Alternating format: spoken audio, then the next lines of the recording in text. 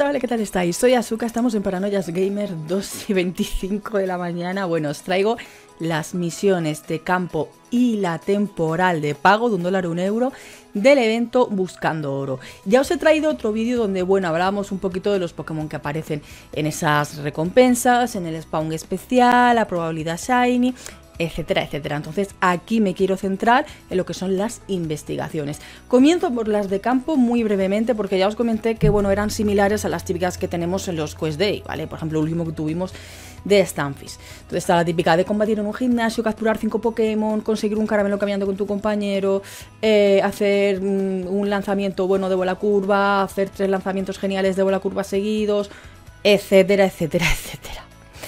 Cualquiera de estas misiones que encontremos en Pokeparada de 2 a 5 de la tarde el día 3 os puede dar cualquiera de los 5 Pokémon que son los protagonistas de este Quest Day o este evento de Buscando Oro. O sea, Caterpie, Magikarp, Nosepass, Sableye o Barboats.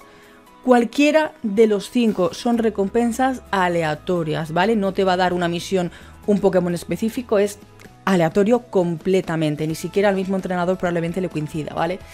Eh, sabéis que en estas Poképaradas, en, estos, estas misiones de campo, tenéis la probabilidad Shiny de estos 5 Pokémon aumentada. Y además, además eh, tenemos una misión de pago donde también, a diferencia del spawn, ya lo sabéis que tiene la probabilidad normal, esta misión de pago de un dólar o un euro eh, también tiene la probabilidad Shiny aumentada. La misión es temporal, ¿vale? Ya os dije que está en la tienda, se puede comprar o regalar y tenéis el tiempo que dura el evento de hacerla, o sea, de 2 a 5, si no luego desaparece aunque la compréis, ¿vale?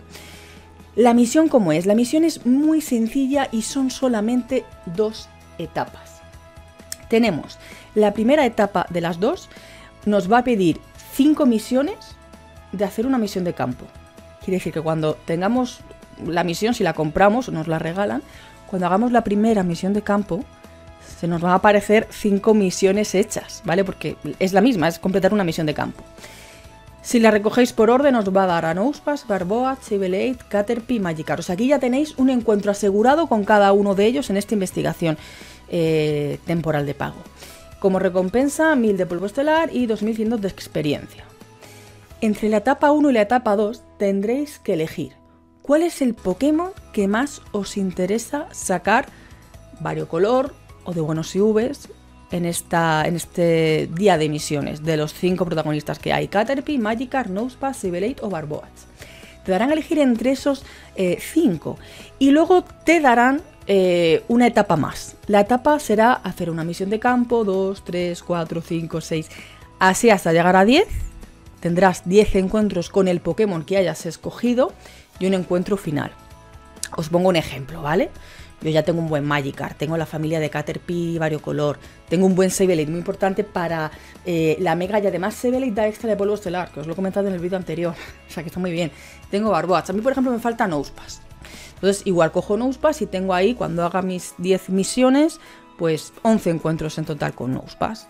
¿Que queréis otro Pokémon? Pues otro Pokémon, ¿vale? Y ya estaría la misión. O sea, realmente te están dando eh, un encuentro con cada uno de ellos, y 11 encuentros con el que tú elijas. Eh, no tiene más, esa es la misión de pago. Ya si os interesa, no os interesa, que no, pues hacéis las misiones de campo de siempre, aprovecháis un poquito el spawn y también sabéis que las Poképaradas estarán doradas sin necesidad de módulo cebo.